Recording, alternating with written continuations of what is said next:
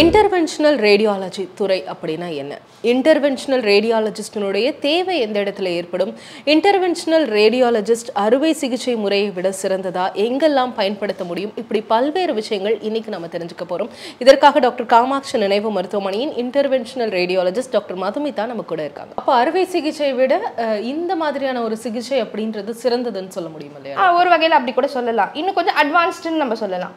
இப்போ இந்த intervention radiology கடந்த பத்து வருடங்களாக தான் நம்ம இன்னும் அட்வான்ஸ்டாக போய்கிட்டு இருக்கு சர்ஜரி விட ஓப்பன் பண்ணாமல் பெரிய ஸ்கார் இல்லாமல் பெரிய தொந்தரவு இல்லாமல் பெரிய வலியும் இல்லாமல் நம்மளால இந்த சிகிச்சையை தர முடியும். அப்போ இந்த சிகிச்சை பெருமளவுல என்ன மாதிரியான நோய்களுக்கெல்லாம் பயன்படுத்தப்பட்டுட்டு வருது? முதல்ல நம்ம சொன்ன மாதிரி ரத்த நாளங்களுக்குள்ளே போய் நம்ம ட்ரீட்மெண்ட் பண்ணலாம். ரத்த நாளங்களுக்குள்ளே போகாமல் ஸ்கின் வழியாகவே அதாவது தோல் வழியாகவே ஒரு சின்ன ஊசி மூலமாக நம்ம ட்ரீட்மெண்ட் பண்ணலாம். முதல்ல நம்ம நான் வாஸ்குலர் என்னென்ன பண்ணுறோம் அப்படின்னு நம்ம பார்க்கலாம்.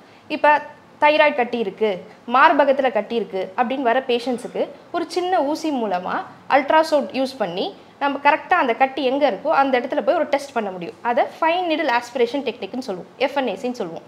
அது பண்ணுறது மூலமாக அது என்ன டைப் ஆஃப் கட்டி அதாவது எதனால் வந்திருக்கு இன்ஃபெக்ஷனால் வந்திருக்கா இல்லை டியூமர் கட்டியா கேன்சர் கட்டியான்றதை நம்ம கண்டுபிடிக்கலாம். தைராய்டு மார்பகம் மட்டும் இல்லாமல் நெறி கட்டி இருக்குன்னு சொல்லுவாங்க. கழுத்தில் நெறி கட்டி அக்கலில் அக்கல்ல நெறி கட்டி ஸோ அந்த அந்த கட்டி நெறி கட்டியிருக்கிறதுக்கும் நம்ம இந்த ஊசி மூலமாக டெஸ்ட் பண்ணி பார்க்கும்போது நம்ம எதனால் அந்த தொந்தரவு வந்திருக்குன்றதை கண்டுபிடிக்கலாம்.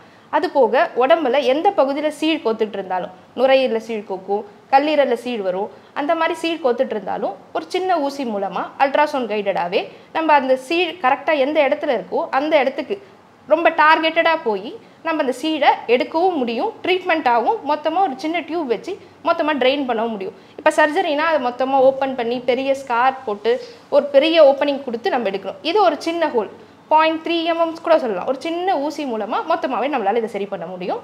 அந்த ஆப்சிஸை அதாவது இந்த சீழ்கட்டியை மொத்தமாக ட்ரெயின் பண்ணவும் முடியும் நம்மளால்.